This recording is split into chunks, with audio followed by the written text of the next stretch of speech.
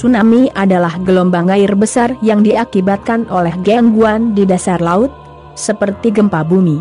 Gangguan ini membentuk gelombang yang menyebar ke segala arah dengan kecepatan gelombang mencapai 600 sampai 900 km jam. Gelombang ombaknya akan semakin besar ketika sampai di tepi pantai dan dapat menyapu daratan. Berikut adalah beberapa video tsunami yang telah diabadikan.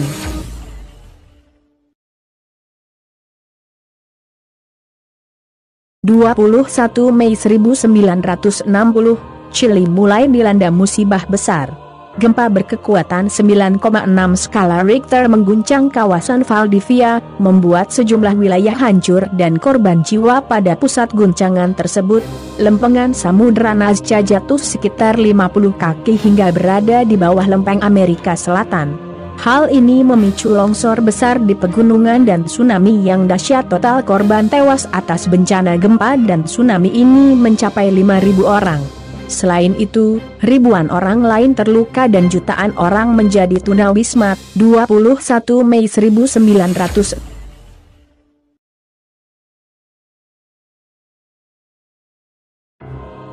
Pada tahun 1976, kota Moro, Filipina dilanda gempa berkekuatan 7,9 skala Richter.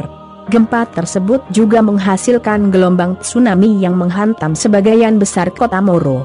Berdasarkan data yang dihimpun, tinggi badai tsunami yang menghantam kota Moro setinggi 15 meter dengan kecepatan 433 mil jam. Atas insiden ini, tercatat setidaknya 5.000 orang meninggal dunia, 2.200 orang dinyatakan hilang, 9.500 orang mengalami luka-luka, dan 90.000 warga kehilangan tempat tinggal mereka.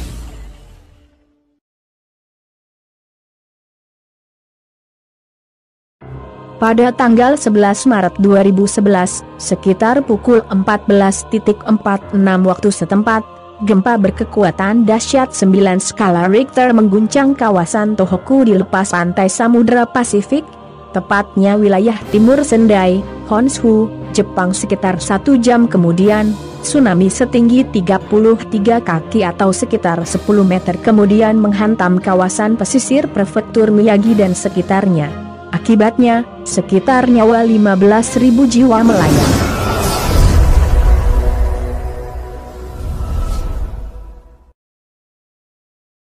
Pada tanggal 17 Juli 1998, Papua Nugini dihantam dua gempa dengan magnitudo 7,0. Dua gempa ini menyebabkan tsunami yang melahap 30 km dari garis pantai utara negara tetangga Indonesia. Dari data yang diperoleh, tercatat ada tujuh desa yang terdampak tsunami. Berdasarkan data statistik resmi, lebih dari 2.000 orang dinyatakan hilang. Namun, dari sumber lokal yang didapat menyebutkan korban tewas berjumlah 6.000 hingga 8.000 jiwa. Lebih dari 12.000 orang kehilangan tempat tinggal karena bencana tersebut.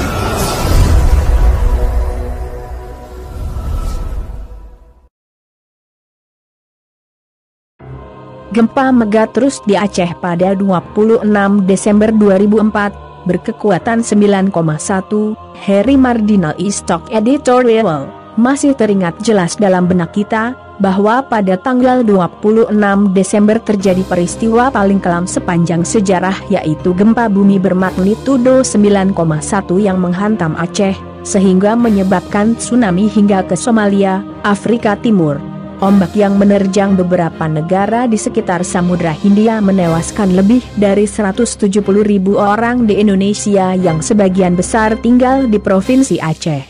Bencana alam ini juga menewaskan sekitar 50 ribu orang di negara lain. Sehingga total korban jiwa yang ada sekitar 220 ribu orang. Peristiwa ini dianggap sebagai salah satu bencana alam terparah dalam sejarah